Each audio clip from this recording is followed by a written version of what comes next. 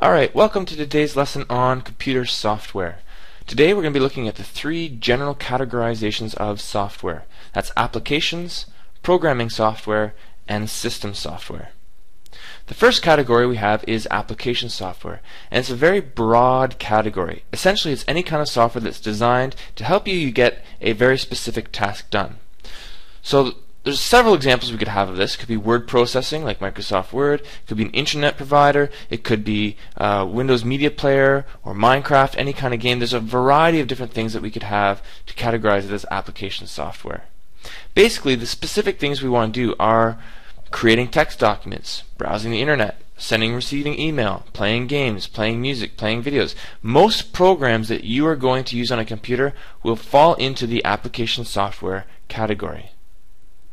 Consider smartphones where you have a quote, there's an app for that. Well, all those little apps that you would have on your phone or on your iPad, those are all going to be examples of application software. It's a program allowing you to get a specific kind of task done.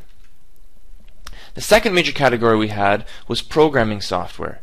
And this is software that we've used in this class so far, like Alice, that is designed to help developers create, debug, maintain, or otherwise support programs and applications. So this is where I'm going to actually create Microsoft Word, or I'm going to use this program to create Minecraft and edit it and update it and so on.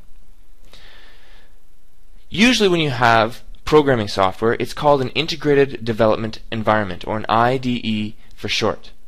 This is a specific type of program that is going to allow me to edit and write my codes run them through a compiler so that they can be translated into a language that the computer understands, and then from that build an application and run it through a debugger as well. So I can test it and make sure that it functions properly. Some examples of IDEs would be Alice, which we've used, Dr. Java, which you will use in grade 11 and grade 12, Eclipse, which is another Java IDE, and Microsoft Visual Studio allowing you to do things like Visual Basic. In programming software, we also have smaller programs called a compiler and a debugger. A compiler is a specific program that translates human readable code into machine readable code. And again, sometimes this particular program can be combined as part of an IDE. So I can write my code and compile it in one location. And similarly with a debugger, much like a compiler, it's often part of, a, of an IDE. A debugger itself is a program that runs a given program one line at a time so I can examine what's happening on at that particular line of code and make any changes I want. So this debugger is going to help me to find either syntax or runtime errors, logic errors. The third type of software we're going to talk about is systems software. And this is software that is designed to operate and control the computer hardware. So this is a program that's going to allow me to make my keyboard function properly, or my mouse, or my monitor. Okay? System software includes the programs and files that make up a computer's operating system. And an operating system is any software that communicates with the computer hardware and allows other programs to run. So it's kind of like the brain of the computer that's going to make sure that everything is interacting properly.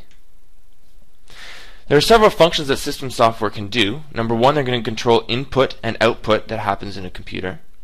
It's going to allocate system resources, making sure that everything is going to be run so that I'm dividing my time between uh, printing a document and um, surfing the internet and typing something into the computer. So everything is going to be run efficiently. It also tries to make sure that we have enough memory so that all my programs can be stored at the same time.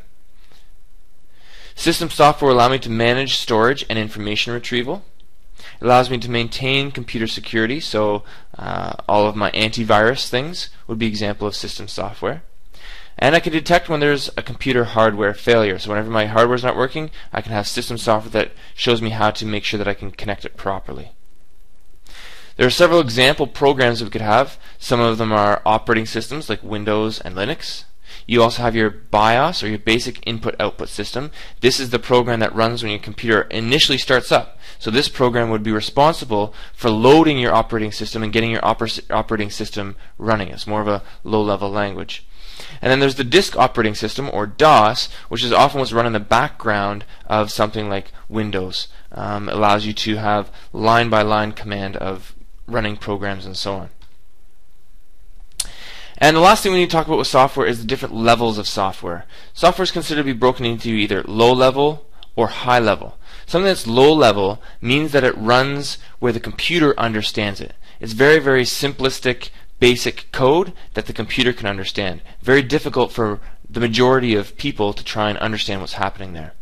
And then application programming so- software is much higher level, meaning that the average typical user can use this particular type of software. So anybody can use it. It's very simple, straightforward.